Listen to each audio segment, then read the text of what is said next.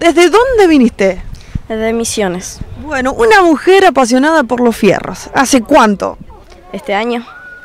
Cumplí los 18 y ya me regalaron mi primer fitito, mi primer auto. Y lo estamos armando. No lo pudimos traer porque no lo pudimos terminar, porque si no lo íbamos a traer, lo íbamos a traer andando, o si no en un tráiler, pero más que seguro andando. ¿Quién te lo regaló? Mi papá. ¿Tu papá fanático de los Fiat 600 o en general de los autos? No, más que nada de los Fiat 600 porque fue, fue uno de sus primeros autos y ahora se compró uno para él también. Así que terminamos el mío y empezamos el de él. Y después salen de gira juntos. Obvio, por todos lados. Bueno, ¿y qué te parece el encuentro?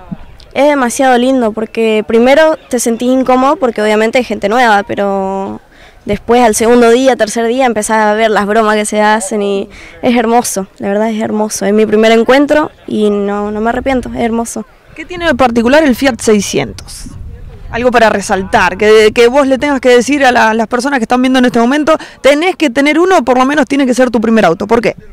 El motor no va adelante. Porque, eh, por ejemplo, para la gente chiquita como yo, que mide unos 50, está a la estatura, uno se sienta y la alcanzas todo, el volante está acá, el pedal está ahí, es todo está en el lugar. No, por ejemplo, una tengo un, Chevrolet y tengo que tirar el asiento para adelante y tengo que pararme para arriba porque no, no, no veo, no alcanzo. La comodidad. La comodidad ante todo. Es, es increíble el 600.